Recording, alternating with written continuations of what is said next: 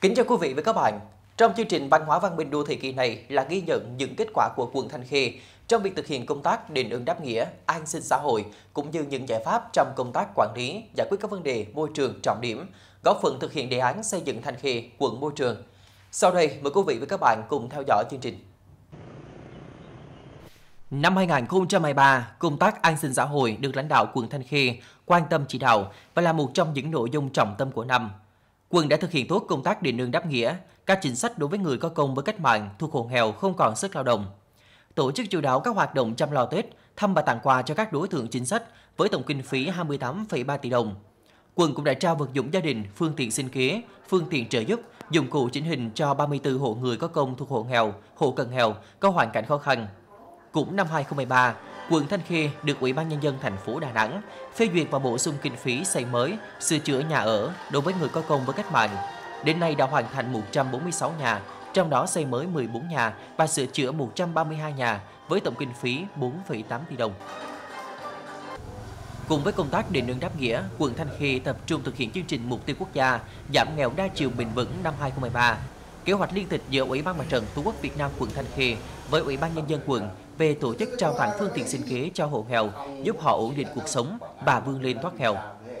Để thực hiện có hiệu quả công tác vận động quỹ về người nghèo, ngay từ đầu năm 2023, Mặt trận quận đã phát hành thư ngõ vận động đến các tổ chức doanh nghiệp cá nhân để có sự lan tỏa nguồn quỹ. Đến nay toàn quận vận động quỹ được 5,5 tỷ đồng, vừa kế hoạch đề ra. Qua đó đã hỗ trợ xây mới 12 nhà, sửa chữa 43 nhà cho hộ nghèo, hỗ trợ học tập cho học sinh sinh viên, con hộ nghèo.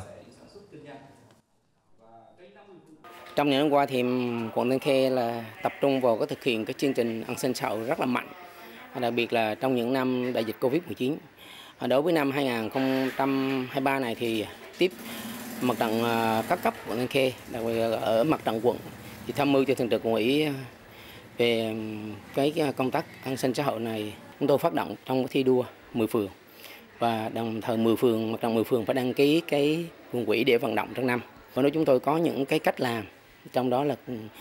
các cái giải pháp mà đặc biệt là công tác tuyên truyền vận động.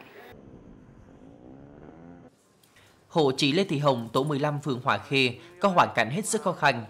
Chị là lao động chính trong gia đình, chồng bệnh tật, các con đang ở tuổi ăn học. Hàng ngày, chị buôn bán rau ở chợ, thu nhập ít ỏi, thiếu trước hụt sau. Một ngôi nhà mới, một nơi ở tươm tất sạch sẽ luôn là mơ ước của cả gia đình. Tháng 5 năm 2023, gia đình chị được mặt trận quận Thanh Khê hỗ trợ 50 triệu đồng để xây lại nhà. Từ nguồn hỗ trợ này, gia đình vay mượn người thân, bạn bè để thêm vào xây dựng ngôi nhà mới. Trước đây thì nhà tôi cũng sập sệ, chứ không có mỗi lần mùa mưa gió là rất là sợ đổ. Nhưng mà nhờ các cấp chính quyền, địa phương với lại quận, thành phố hỗ trợ cho tôi ờ,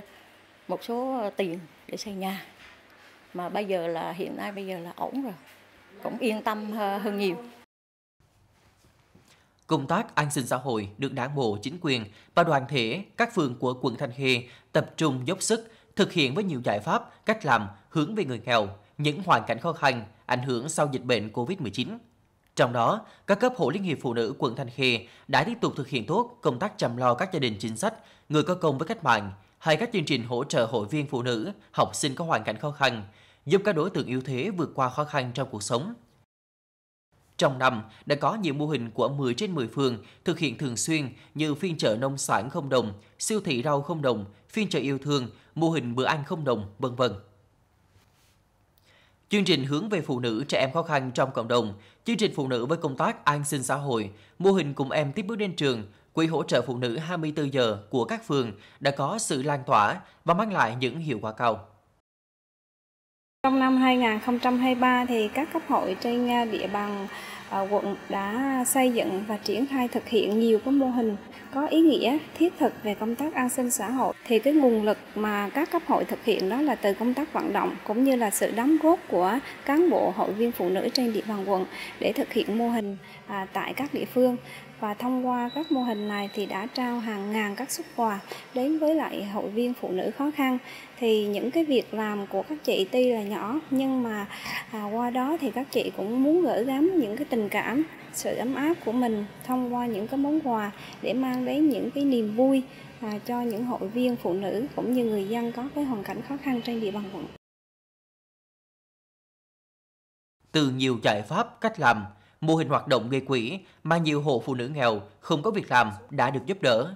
Cùng với đó, việc hỗ trợ xây mới, sửa chữa nhà ở cho hội viên có hoàn cảnh khó khăn được các cấp hội phụ nữ quận duy trì thực hiện với nhiều cách làm sáng tạo, hiệu quả, đặc biệt là trong việc vận động từng nội lực vươn lên thoát nghèo của phụ nữ. Em đã nhận hỗ trợ của à, sinh kế của phụ nữ phường à, để giúp cho gia đình em là có công việc à, ổn định và tăng nguồn thu nhập với lại là ổn định trong cuộc sống.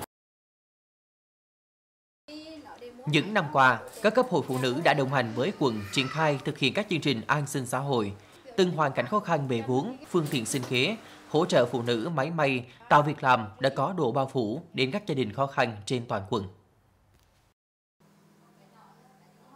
Dạ, hội phụ nữ phương đã hỗ trợ cho tôi 5 triệu đồng để mua cái bao máy may mới để hỗ trợ công việc của tôi là được thuận lợi và cũng có ngang ngay tiến triển nhiều hơn. Có thể nói, với nhiều giải pháp như ban hành các văn bản liên quan đến công tác giảm nghèo, an sinh xã hội, tổ chức đối thoại hộ nghèo. Trên cơ sở đó, bàn các giải pháp, những chương trình phối hợp, phân công Ủy ban Mặt trận Tổ quốc, đoàn thể chính trị xã hội, các phòng ngành và địa phương trong việc nhận địa chỉ để giúp thoát nghèo. Tiêu biểu như chương trình hỗ trợ xây mới, sửa chữa nhà, trao tặng phương tiện sinh kế, đào tạo nghề, định hướng nghề nghiệp, vay vốn phát triển kinh tế, giúp các gia đình vượt qua khó khăn, phát triển kinh tế, ổn định cuộc sống với phương châm không để ai bị bỏ lại phía sau.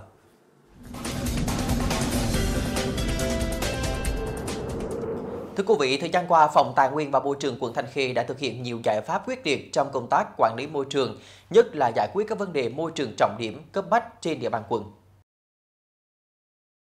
Đây là hình ảnh được chụp lại tại khu vực cuối đường Huỳnh Ngọc Huệ, giáp ranh giữa hai phường là Hòa Khê và An Khê. Điểm tập kết với một lượng lớn rác thải, xà bần trở thành điểm nóng về ô nhiễm môi trường. Trước tình trạng này, cuối tháng 11 vừa qua, Phòng Tài nguyên Môi trường quận Thanh Khê đã phối hợp với xí nghiệp môi trường và các đơn vị đa quân dọn vệ sinh. Đến nay, nơi đây không còn là điểm tập kết rác của người dân. Tình trạng nhếch nhác, ô nhiễm môi trường đã giảm hẳn, cảnh quan xanh sạch đẹp. Trong năm 2023, đối với các cái vấn đề trọng điểm cấp bách về môi trường thì phòng tài nguyên môi trường tham mưu ủy ban quận trên hai cái giải pháp chính, giải pháp công trình và giải pháp phi công trình. Ờ, à, biển Nguyễn Tất Thành á, thì à, bên cạnh sự đầu tư của thành phố các công trình mà thu gom à, nước thải dọc cái tuyến biển á, thì các hộ đoàn thể của quận cũng định kỳ ra quân dọn vệ sinh biển, đặc biệt là thu gom rác tấp vào bờ biển sau các cái đợt lụt và mưa lớn đối với cái khu vực đất mà sau cái cú đường ờ, Huỳnh Ngọc Huỳnh Huệ này thì ờ, là một cái khu vực đất ờ, giáp danh giữa hai phường và cái điểm cuối của con đường. Do đó là các cái trường hợp là hay tận dụng để mà tập kết rác. Thì sau khi mà tiến hành dọn vệ sinh xong thì chúng tôi, tôi đã có cái biên bản bàn giao cho hai phường về cái quy chế phối hợp giữa hai địa phương để mà cùng công tác quản lý.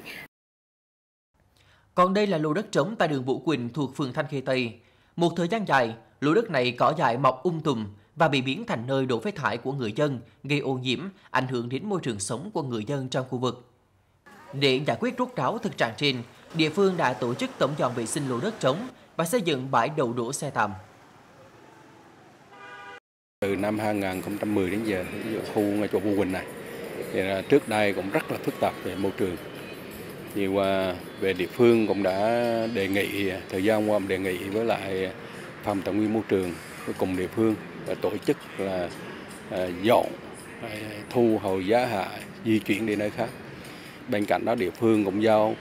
à, cho những cái hộ dân gần cái nhổ lô đất trống là tự nhận và quản lý. Hiện nay trên địa bàn quận có 398 lô đất trống, trong đó có 103 lô đất chưa bố trí tái định cư. Các lô đất còn lại đã có chủ sử dụng và được sử dụng để trồng rau, làm bãi đổ xe, đậu chắn, vân vân. Ủy ban nhân dân các phường đã cấm bạn nghiêm cấm đổ rác thải xả bần không đúng nơi quy định, đồng thời thường xuyên kiểm tra xử lý đối với một số trường hợp vi phạm. Tại những điểm tập kết rác thải, quận Thanh Khê cũng đã tiên phong đầu tư xây dựng mô hình điểm tập kết xanh gồm che chắn thùng rác kiên cố, trồng cây xanh để tạo mảng xanh bao phủ, giúp giảm thiểu mùi hôi phát tán ra môi trường xung quanh và tạo mỹ quan cho khu vực. Bên cạnh đó, nhiều mô hình về môi trường trên địa bàn quận Thanh Khê như khu dân cư tự quản bảo vệ môi trường, khu dân cư thân thiện môi trường, phân loại chất thải rắn sinh hoạt tại nguồn đã từng bước tác động đến ý thức, trách nhiệm của người dân trong bảo vệ môi trường. Đại đa số bà con khu dân cư ở đây, ở khu uh, dân cư 9 Tân Hòa, là cái việc mà người ta chấp hành, người ta tham gia dọn vệ sinh như thế này ấy, thì là tương đối là tốt. Thế rồi uh, về phía khu dân cư thì là giao cho câu lạc bộ của cựu chiến binh của khu dân cư là quản lý hai cái sân này. Chi hội phụ nữ thì là trồng hoa thế và trồng à, chăm bón cây xanh. Thế và khi mà hàng tháng ấy là tổ chức dọn vệ sinh ở đây ấy, là được là huy động được cả bà con xung quanh ở đây. Người ta đến người ta tự nguyện người ta tham gia cùng với lại cán bộ của khu dân cư. Có thể thấy thời gian qua, quận Thanh Khê đã ban hành các đề án, kế hoạch về việc quản lý, xử lý ô nhiễm môi trường tại những lô đất trống, triển khai thu gom rác thải phát sinh sau các đợt mưa lũ, dọn vệ sinh làm sạch biển Nguyễn Tất Thành, quản lý xử lý ô nhiễm các hồ. Cùng với đó thực hiện đề án xây dựng Thanh Khê quận môi trường năm 2023 với bốn nhóm nội dung trọng tâm gồm phòng ngừa và kiểm soát ô nhiễm môi trường, cải thiện môi trường, giải quyết các vấn đề môi trường trọng điểm cấp bách, bảo tồn thiên nhiên và đa dạng sinh học, thúc đẩy bảo vệ môi trường trong khai thác, sử dụng tài nguyên, tăng cường năng lực, nâng cao nhận thức về bảo vệ môi trường. Các phường đã ban hành và tổ chức thực hiện các nhiệm vụ liên quan đến công tác môi trường. Kết quả, 8 trên 10 phường đạt tiêu chí phường thân thiện môi trường trong năm 2013. Với nhiều giải pháp quyết liệt, đồng bộ, quận Thanh Khê đã đạt được nhiều kết quả trong công tác quản lý môi trường, góp phần thực hiện có hiệu quả đề án xây dựng Thanh Khê quận môi trường. Phóng sự vừa rồi cũng đã khép lại chương trình Văn hóa văn minh đô thị của quận Thanh Khê kỳ này. Cảm ơn quý vị và các bạn đã quan tâm theo dõi.